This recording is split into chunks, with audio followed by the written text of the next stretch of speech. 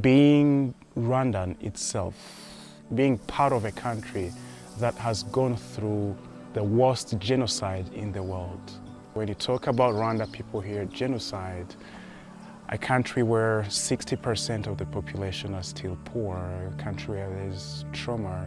As a Rwandan, it affects me, but knowing that there's people who are healing, because this is not something you, you will hear in the newspaper. You need to talk to the people and find out how they're overcoming these problems.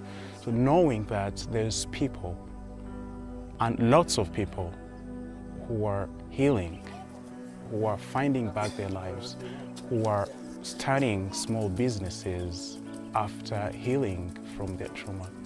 It was a big relief for me and increases the, the pride of being Rwandan.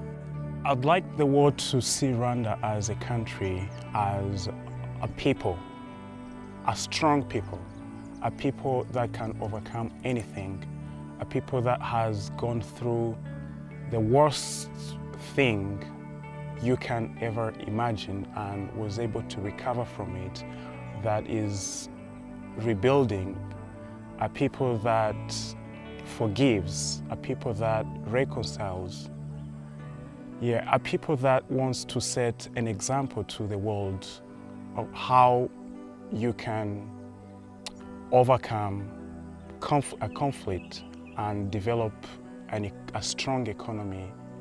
I'd like the world to know that we are all one, that we are one people, that we have the same feelings, that we have the same aspirations. The problems that the world have now, if a person has a problem here, it's, it's everybody's problem.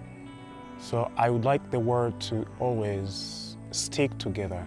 We are all in this world together of fighting poverty, of fighting conflicts, of fighting trauma, of fighting human trafficking, or fighting all these topics that we, we keep seeing coming back in the newspaper, on TVs.